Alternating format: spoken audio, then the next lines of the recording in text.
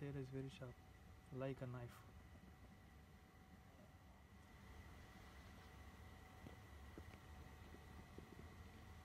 The guy is very weak.